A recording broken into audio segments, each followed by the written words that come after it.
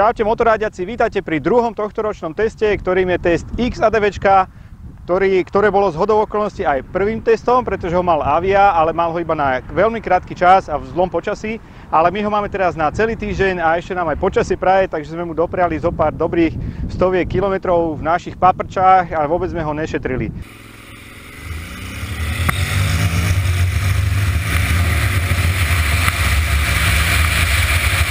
XADV prešlo modernizáciou.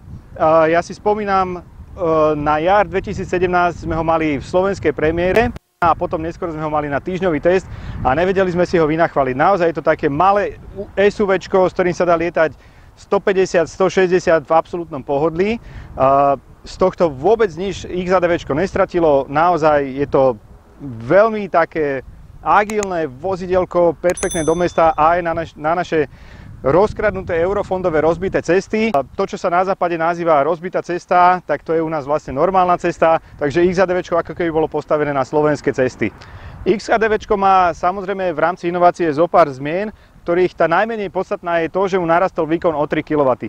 Tu výkon vôbec nie, nie je nejak podstatný, podstatný je krúťak a ten je uh, tiež neohorujúci svojou hodnotou, ale skôr tým, že je veľmi nízko a veľmi plochy. Jazdec tu ide v podstate stále na krúťak.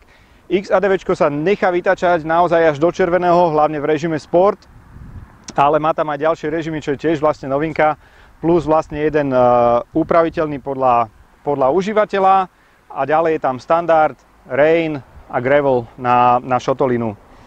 Uh, ďalšími vychytávkami, ktoré sú tu nové a naozaj uh, také, ktoré, si, ktoré už si XADV zaslúžilo a ktoré na dnešnú dobu patria sú farebná prístrojovka s perfektnou konektivitou. Tu už vám Avia vysvetloval v predošlom videu. Prístrojovka super, tej dávame 100 bodov zo 100 bodov, lebo je výborná. Ďalej nižšie a užšie sedlo a užšia stavba túto dole, pretože minulá, minulá generácia bola taká, že ľudia jej vyčítali, že sa nevedeli dostatočne rozkročiť keď stáli na kryžovatke a ja mám tiež nohy dlhé ako pred výplatou a tiež som to XADV vyčítal, ale teraz už je to viac menej v poriadku. Aj to sedlo je perfektne vykrojené a veľmi dobre sa na tej motorke sedí. Tieto plošinky sú také, že veľmi pohodlné, dajú sa dať nohy aj sem dopredu, ale uh, nedá sa na tom ísť postojačky, pokiaľ máte iba plošinky. Musíte si dokúpiť také stupačky sem dozadu, také zubaté, vtedy je to super. Uh, naozaj nikomu neodporúčam uh, jazdiť postojačky na týchto plošinkách. Hodíš držku cez plexi a ešte ťa prejde aj svoja, tvoja vlastná motorka. Ďalšie vychytávky sú celkom také na najvyš praktické. Napríklad, že ručná brzda sa presunula odtiaľto a tu vznikol taký odkladací priestor akurát na mobil. Zmestí sa tam naozaj aj najväčší iPhone, pomaly už aj taký malý tablet by som povedal. A presunula sa sem hore tá ručná brzda. Teraz je taká, že ak je zatiahnutá, tak e, si to nemôžete nevšimnúť pred jazdou. E, čiže treba ju, treba ju pred jazdou uvoľniť, lebo na tej predošlej verzii sa stávalo, že ľudia na to zabudali a jazdili so zatiahnutými ručnými brzdami. Perfektný ľavý ovladač, naozaj e, všetky klobuky dole a všetky sánky dole to Honda perfektne vyvinula. A čo strašne máme radi sú praktické veci. Teraz sa sedlo otvára tak, že same vyskočí. Teraz nevyskočilo len preto, lebo je chladno. Myslím si, že tá vspera, že neprospieva to, že je chladno, ale inak vyskakuje samé. Hop, ťukes a ide.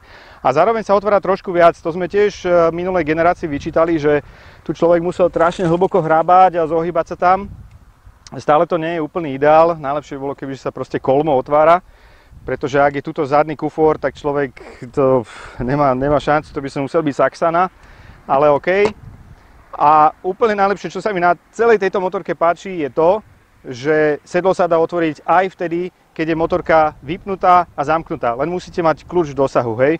Lebo ako to poznáte, tisíckrát sa stane, že prídeš, e, odchádzaš od motorky a zabudneš si kľúče od domu, gumy, cigarety.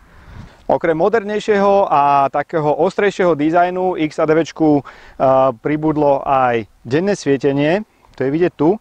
A napríklad aj tieto, tieto logá tuto hore v tých svetlometoch svietia tiež. Uh, takisto, tak ako majú niektoré iné hondiacké modely, svietia stále aj smerovky, tak slabo, slabo oranžovo. A oveľa lepšie je teraz ovládanie plexy. To predtým bolo také, že fungovalo v niektorých polohách, že sa muselo tak akoby zaeretovať, ale teraz je to krásne plynulé, hore dole.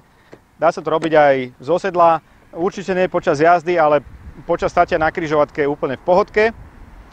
Celkovo ten, ten posed a taký, taký pocit z jazdy na XADV je až, eh, až, až návykový, by som povedal. Radí to za vás, je tam dvoj, dvojspojková prevodovka, uh, ktorá dokáže ísť plynulo pri 20 v zápche medzi autami a zároveň dokáže, dokáže ísť aj 160 po diálnici. Nemáte problém stíhať veľkým motorkám, naozaj Afriky, veľké crosstourery, motorky a tak ďalej, endura, s tým nemáte problém stíhať ani v zákrutách, ani na rovinkách. V tomto smere tá dynamika od rýchlosti 0 až po maximálku, čo je niekde 160, 170, je to úplne super. Na ten objem a na tú spotrebu my sme na predošlej verzii robili 4,1 toto už splňa normu Euro 5 a tá spotreba je ešte nižšia, no tak to nežerú ani pomaly 300-kové skútre, hej.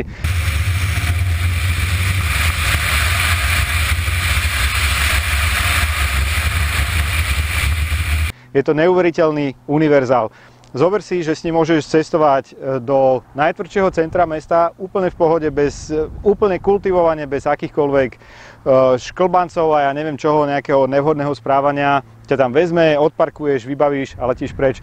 Takisto dokáže zobrať nejaký náklad, e, buď pod sedlo, alebo sem si dáš tášku, dozadu môže byť kufor, alebo sa dokonca aj bočné kufre sú v ponuke. Takisto sa nebojí spolujazca, táto motorka veľmi kvalitne vás povozí, normálna turistika, vážna, s manželkou na víkend niekam a tak ďalej, s deťmi, bez problémov. Takže a potom, keď ideš s chalanmi na výjazd, s veľkými motorkami, tak nemáš problém im stíhať. Takže, mm, čiže tá cena, naozaj ono si XADV ju dokáže odmakať, ak, ak e, máš možnosť využiť všetky tieto jeho stránky, tak ono určite ti veľmi dobre bude slúžiť.